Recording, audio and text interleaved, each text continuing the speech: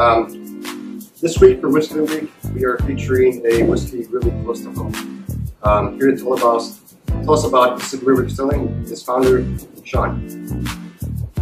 Hello, this is uh, Cody Road Bourbon and Rye Whiskey from Mississippi River Distilling Company. We're based in LeClaire, Iowa. LeClaire, Iowa is just a little river town right on the Mississippi. If you're heading on Interstate 80, going from Iowa into Illinois, um, you're going to pass us. We're going to be the last little river town in Iowa, so stop by for a visit sometime. Um, the bourbon is a wheated bourbon. It's 70% corn, 20 wheat, 10 barley. So with that mash bill, you're going to get that wheat sweetness that'll carry through. Unmalted barley, it'll kind of give you a little bit of a earthy, nutty finish to it. Um, the rye whiskey is 95% rye, 5% malted barley. So this is a really cool whiskey.